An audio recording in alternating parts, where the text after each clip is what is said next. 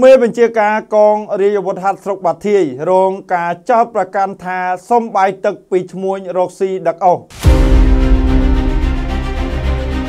លោករតនត្រី ជាចម្រើន មេបញ្ជាការអាវុធហត្ថស្រុកបាធាយបានរងការចោទប្រកាន់ថា បានសុំបាយទឹកតាមប្រព័ន្ធ Telegram ពីឈ្មួញរកស៊ីដឹកអស់យោងតាមគណនី Facebook ឈ្មោះច័ន្ទនីភួង បានបង្ហោះតាមបណ្ដាញសង្គម Facebook នៅថ្ងៃទី22ខែមីនាឆ្នាំ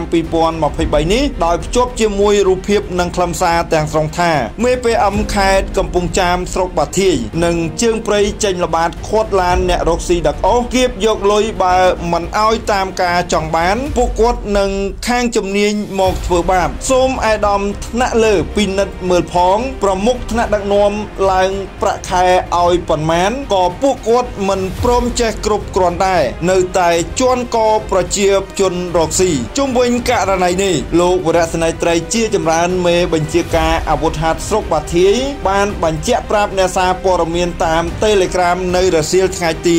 22ខែមីនាឆ្នាំ2023នេះដោយលោកបានបញ្ជាក់ថា ជាងមួយខែមុនរូបលោកពិតជាបានតាក់ទងទៅសុំបាយទឹកពិតមែនប៉ុន្តែឈ្មួញខាងលើនោះមិនបានឲ្យរូបខ្លួនឡើយចាប់តាំងពីពេលនោះមកលោកក៏មិនដែលតាក់ទងទៅទៀតដែរលុះមកដល់ពេលនេះស្រាប់តែឈ្មួញខាងលើបានយករូបភាពទាំងនោះមកបង្ហោះតែម្ដងប្រូ